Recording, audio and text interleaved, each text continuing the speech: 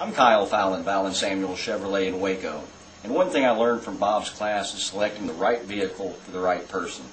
This has helped immensely in getting gross up. I suggest that when Bob teaches a subject, you listen. Of course, I learned how to deal with people. I learned personality types.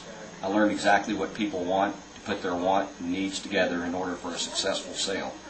I think for the most part, if you pay attention in the class and you study what Bob has to tell you, that you'll be a successful salesperson.